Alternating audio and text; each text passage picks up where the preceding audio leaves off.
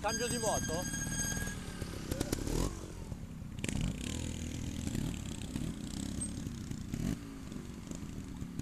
È una bella differenza, eh, quattro tempi due tempi.